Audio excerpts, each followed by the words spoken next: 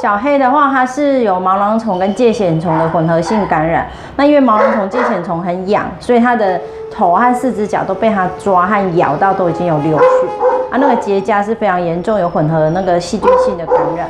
所以治疗上可能就是要呃药浴，然后点药和打针，然后还有吃口服药这样子。